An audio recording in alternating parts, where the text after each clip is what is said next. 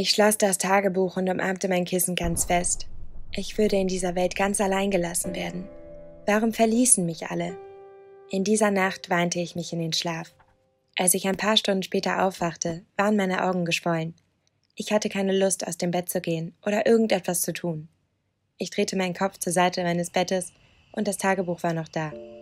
Ich öffnete es und fing an weiterzulesen. Ich dachte, dass ich bereits das Schlimmste gelesen hatte, was ich darin finden könnte. Aber dann hörte mein Herz zum zweiten Mal auf zu schlagen. Meine Mutter starb nicht nur im Geheim, sondern sie hatte auch ein Testament geschrieben. Ich fand es versteckt in einem kleinen Umschlag, den sie auf das Tagebuch geklebt hatte. Mein Herz schlug, als ich anfing zu lesen, was im Testament stand. Ganz nach unseren Traditionen überlasse ich alles, was ich habe, meinen lieben Jungs, meinen starken jungen Männern. Ich bin so stolz auf sie. Ich las immer wieder durch die Seiten und suchte nach einer Erwähnung von mir, aber es war nirgendwo zu finden. Ich stand völlig unter Schock. Meine Mutter erwähnte mich nicht einmal? Ich konnte nicht glauben, dass ich meiner Mutter so wenig bedeutete. Warum waren ihre lieben Jungs so viel wichtiger? Bemerkte sie denn nicht, wer sich Tag und Nacht um sie kümmerte? Ich kroch zurück unter meine Bettdecke und weinte und weinte. Ich war mir nicht sicher, wie ich mit dem umgehen sollte, was ich herausgefunden hatte. Ich meine, sie lag im Sterben. Ich konnte nicht einfach meinen Anteil am Erbe verlangen, während meine Mutter sich auf ihren Tod vorbereitete. Ich musste mich um sie kümmern, aber wollte sie das überhaupt? Aber sie sagte mir immer wieder, dass sie mich liebt. Ich war so verwirrt und mein Kopf drehte sich. Tagelang lebte ich fast wie ein halber Mensch und ging jeden Tag die Abläufe durch, die ich sonst tat, putzte das Haus, bereitete das Abendessen für meine Mutter vor, wechselte ihren nassen Kopfwickel, saß an ihrem Bett und las ihr Bücher vor. Aber ich war eine leere Hülle. Mein Verstand lief durch all diese Fragen auf einer Endlosschleife. Während ich eines Abends den Fernseher hörte, hörte ich diesen Prediger sagen, wir müssen uns für die Menschen erheben, die wir lieben.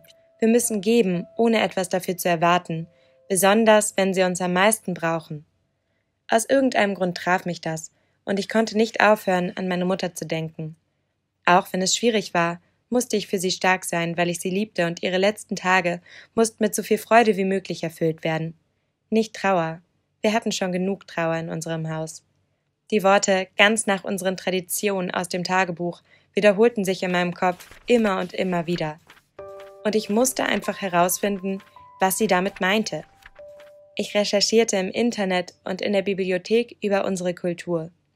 Und während meiner Recherche fand ich heraus, dass wir als Menschen viele Jahre so gelebt haben. Das war sie, das war wer sie war. Meine Mutter war die Verkörperung unserer Tradition. Respektiere unsere Ältesten, wasch deine Hände, bete und das Feiertagsessen. All diese Dinge waren ihr am wichtigsten. Natürlich wäre das nicht anders. Ich liebte sie so, wie sie war, von ganzem Herzen. Das zu akzeptieren war schwer, aber die Realität war, dass meine Mutter mich zu diesem Zeitpunkt am meisten brauchte, und ich musste es einfach gehen lassen. Am nächsten Feiertag kamen meine beiden Brüder nach Hause und ich bereitete ein gutes, altmodisches Familienessen vor. Meine Mutter kam sogar runter, als es fertig war. Wir setzten uns zusammen zum Essen und ich sah meine Brüder an, als sie das Abendessen genossen, das ich gemacht hatte. Sie lachten, waren glücklich und unbekümmert. Sie umgarnten unsere Mutter mit süßen Worten, und ich konnte sehen, wie glücklich sie sich dabei fühlte. Kurz darauf ging sie in ihr Zimmer, weil sie müde wurde. Ich blieb dort bei meinen Brüdern und starrte sie mit Wut in meinen Augen an. Sie fragten mich, was los sei, und bevor ich mich versah, explodierte ich ihnen einfach ins Gesicht. Ich beschimpfte sie mit jedem verletzenden Namen unter der Sonne, und dann fing ich an, sie anzuschreien und zu sagen, Mama hat euch beiden alles überlassen. Wie konnte sie mich so völlig ignorieren? Sie hat mir nichts hinterlassen. Liebt sie mich nicht? Meine Brüder waren verwirrt, und nach meinem Ausbruch beschloss ich, ihnen zu sagen, was ich entdeckt hatte. Anscheinend wussten sie bereits, dass sie im Sterben lag, aber sie waren ebenso überrascht über das Testament. Mein älterer Bruder sagte mit sehr strenger Stimme, Sag ihr nicht, dass du es weißt. Sie braucht sich keine Sorgen zu machen, besonders in dieser Zeit, und der Streit mit ihr wird nirgendwo hinführen. Und du auch. Wir werden es wieder gut machen. Du bist unsere Familie, unsere kleine Schwester, du bist eine von uns. Hast du jemals daran gezweifelt, dass wir uns umeinander kümmern würden? Es sind nur noch wir, wir müssen zusammenhalten. Du kannst jederzeit bei uns wohnen. Mein anderer Bruder nickte und lächelte. Wir umarmten uns lange Zeit lang. Das war vor zwei Jahren. Meine Mutter ist kurz nach diesem Feiertag gestorben. Ich spüre jedoch immer noch ihre Anwesenheit bei mir. Ich kann nicht sagen, dass ich wegen des Testaments sauer auf sie war. Schließlich gaben mir meine Brüder ohne zu zögern meinen gerechten Anteil daran. Sie sagten mir, dass nichts auf der Welt zwischen uns kommen kann, vor allem nicht Geld.